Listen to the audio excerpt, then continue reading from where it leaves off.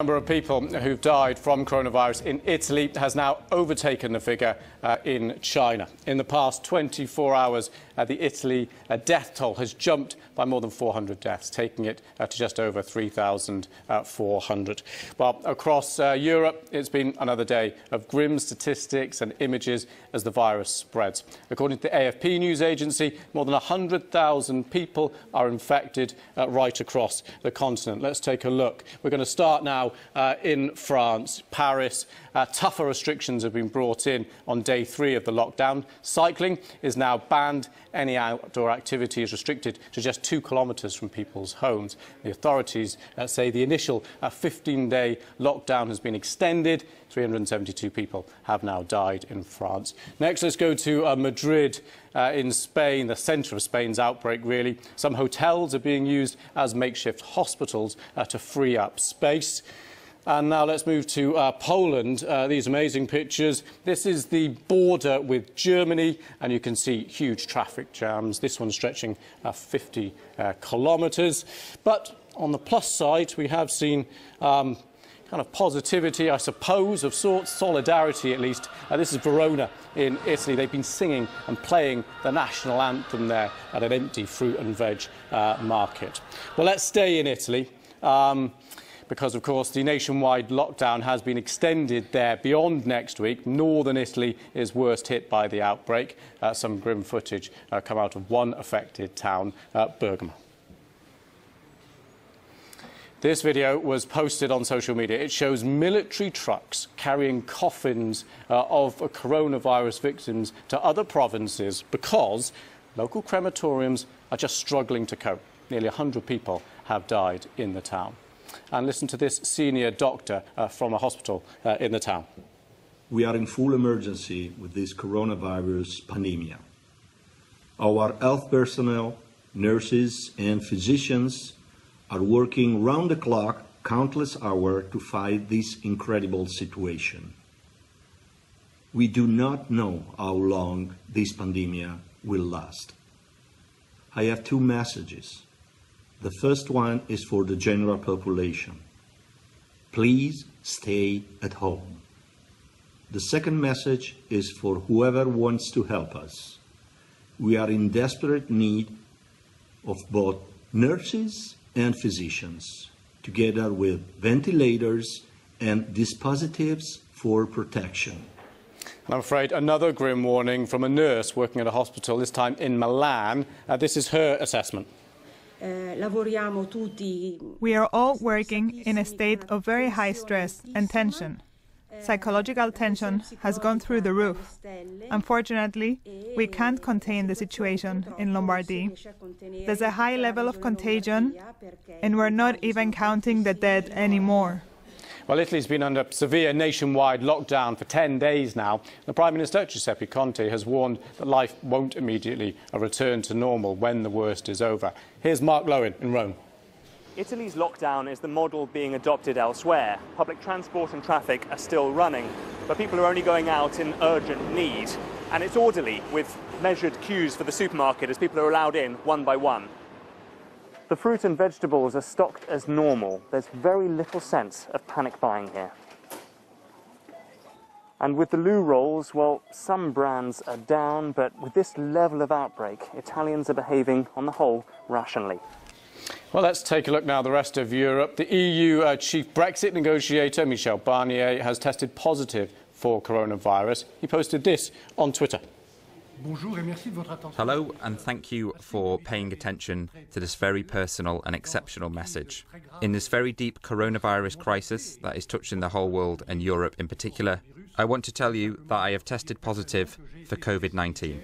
So, face to face talks on the future relationship between the UK and the EU after Brexit have all but stopped. Some of Mr Barnier's team members uh, are also now uh, in isolation. Across Belgium, there are nearly 1,800 cases and uh, tough lockdown measures are being enforced. Here's Gavin Lee, who's in Brussels. Police patrols uh, on the streets.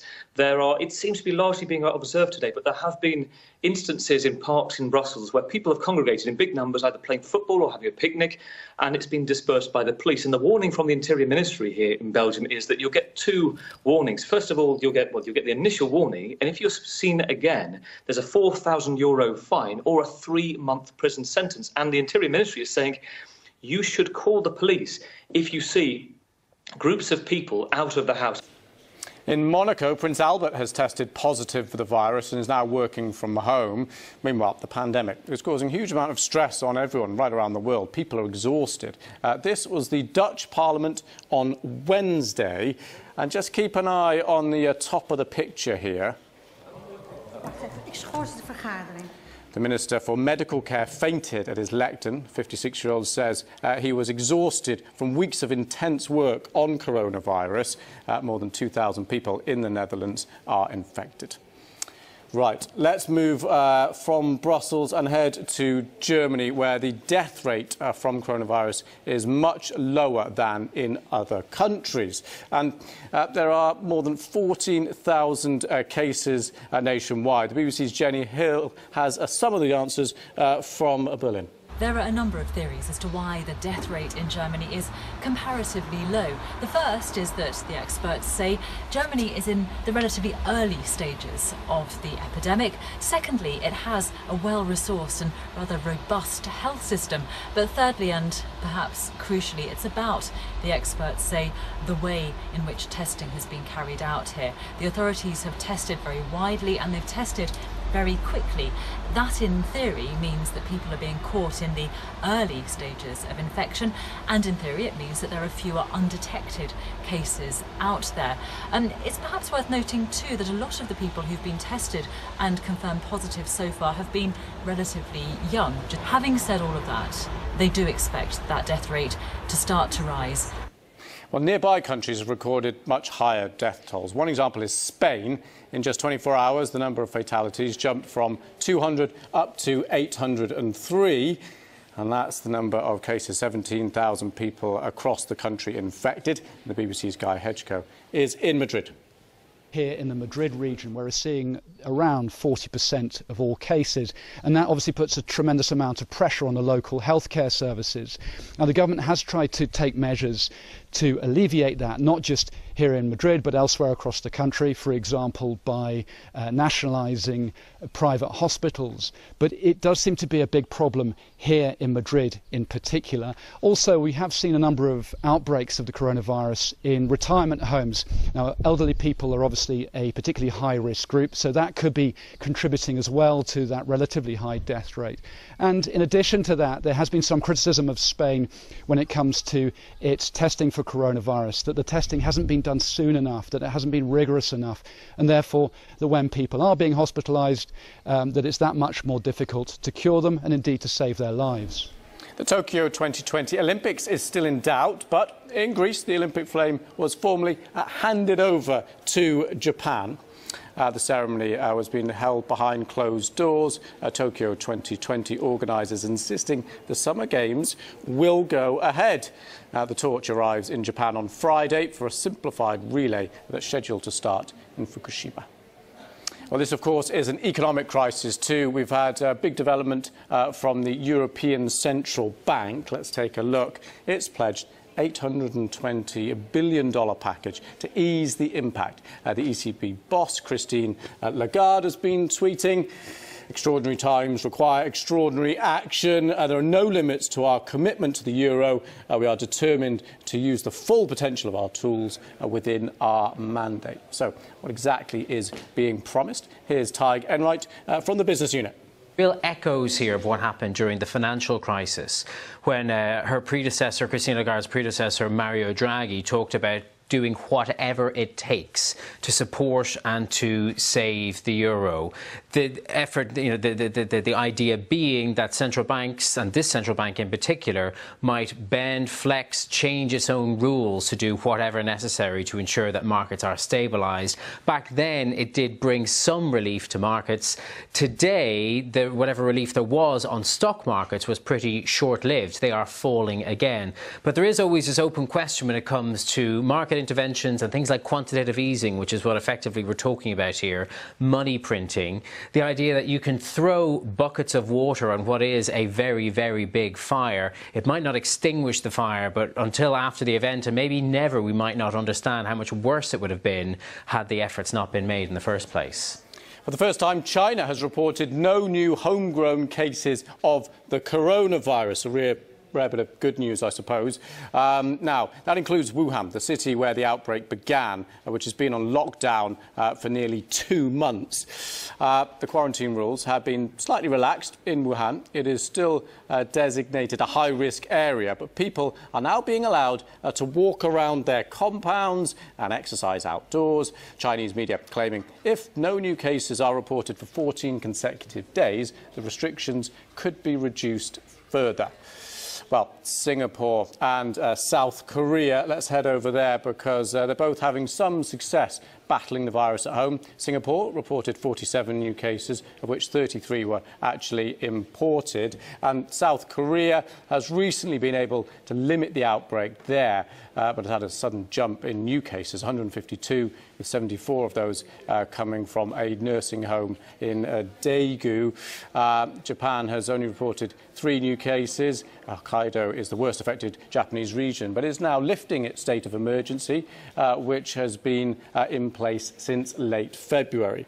Now, given uh, the recent success, a growing concern in Asia is people bringing the virus back from abroad. Despite having no new cases uh, domestically, China did record 34 new infections among people coming into the country from abroad, as Stephen McDonnell uh, now reports. 34 new cases.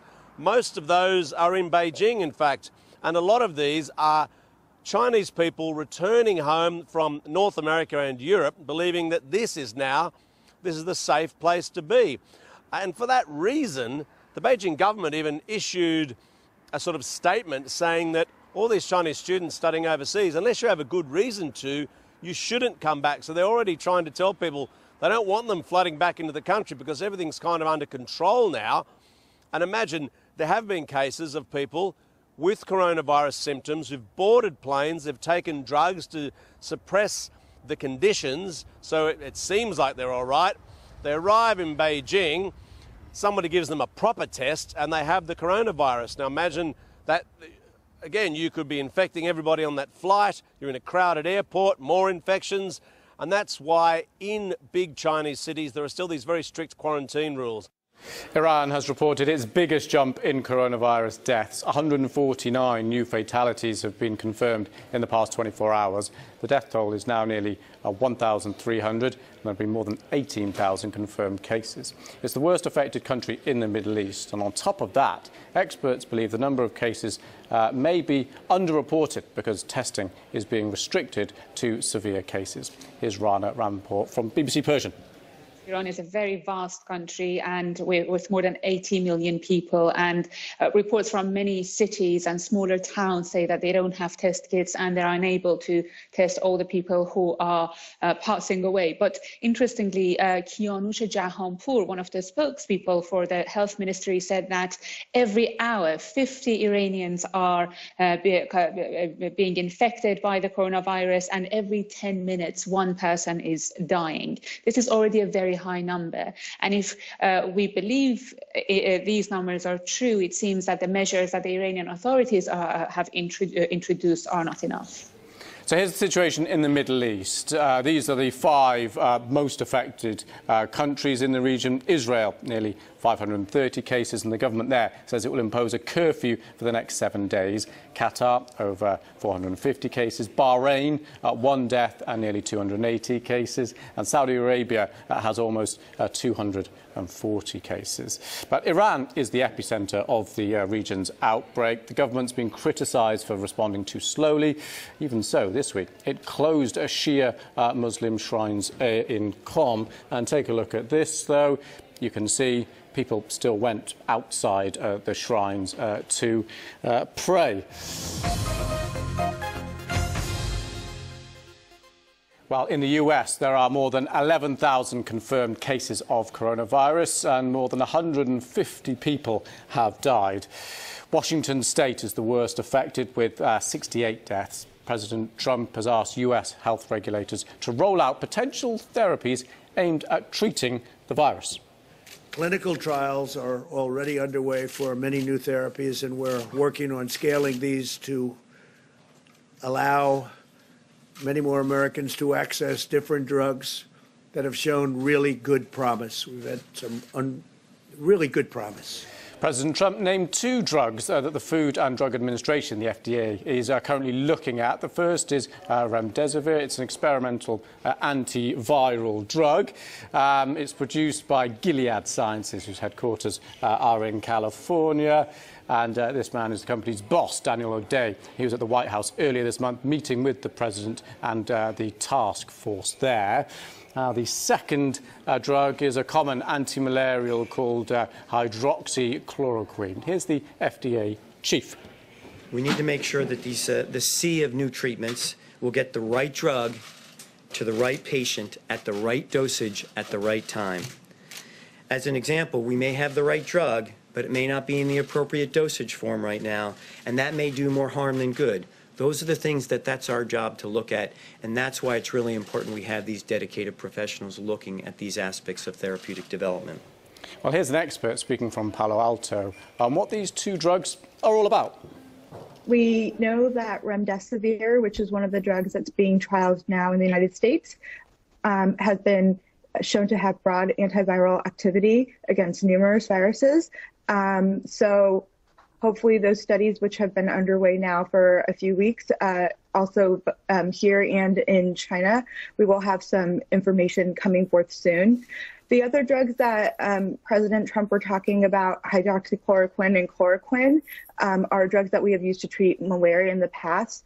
There's some uh, promising information that came out um, over the last few days showing that patients who received hydroxychloroquine uh, may rapidly clear uh, their viral load from uh, SARS-CoV-2 quickly. I need to caution, though, that this is a very small study, and this is why we need to do a larger um, clinical trial or study to find out more information. Okay, we're going to look at uh, what's going on in other parts of the world now. And uh, in India, uh, which has more than 170 confirmed cases and four deaths, Prime Minister Narendra Modi has ordered a curfew of staggering proportions. Uh, the BBC's Arunoday Mukharji in Delhi has the details asking citizens to not come out of their homes unless absolutely necessary. The Prime Minister said the symbolic day-long curfew on Sunday, the 22nd of March, from 7 a.m. to 9 p.m. will be a test of the country's resolve and show of unity. All except those involved in essential services have been urged to observe this public curfew. The Prime Minister, many observers say, used this opportunity to perhaps prepare citizens in case India has to observe a formal lockdown in the near future. Well, let's move to Africa, which has 640 confirmed cases across more than 30 countries. That's according to the African Union and the Africa Centre uh, for Disease Control and Prevention. And let's take a look at this image, uh, which really shows uh, the spread with the darker red areas uh, where there are more cases. Now, the continent is being warned to prepare for a big jump in the number of cases. In fact, the head of the uh, WHO is from Ethiopia. Let's take a look at what he said.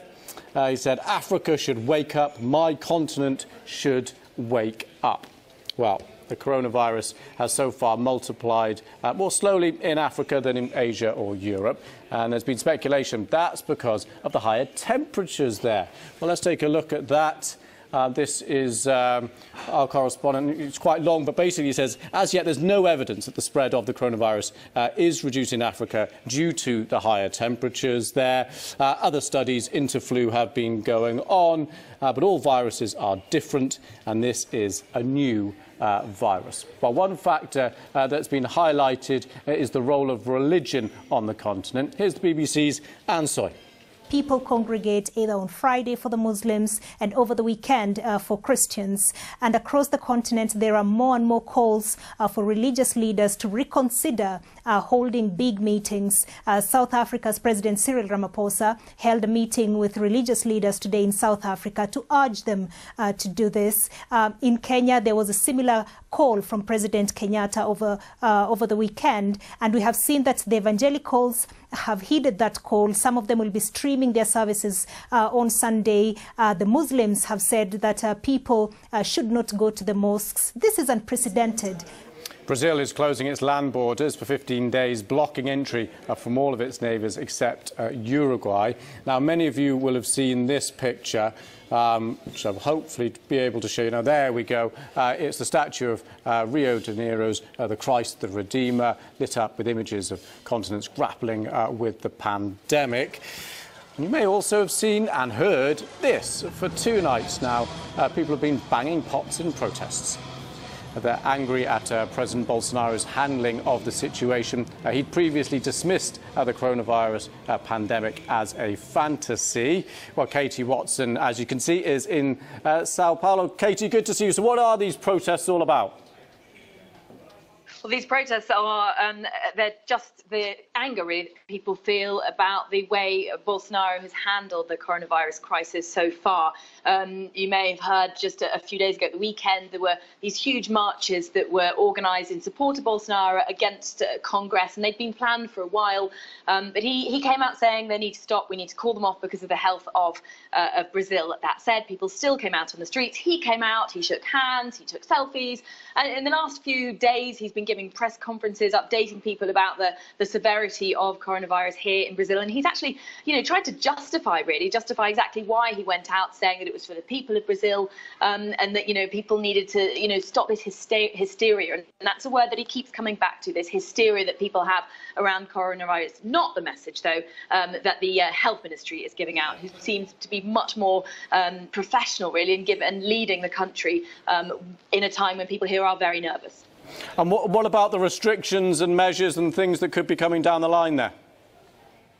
Well, as you mentioned, the land borders have been closed here in Sao Paulo, where we've seen the, highest number of cases. Uh, shopping centres have been told to close until um, until April. They've uh, supermarkets and, and, pharmacies they're allowed to stay open. Um, there are delivery services and for restaurants that you can't go out and sit in a restaurant now very easily. I mean, the roads here are, very very quiet in a, in a city that's you know uh, the, the, the bigger cities. We're talking 20 million people, but the streets are clear. That's a you know never seen in this in this country in the big cities. So certainly people are taking notice, trying to stay indoors as much as they can.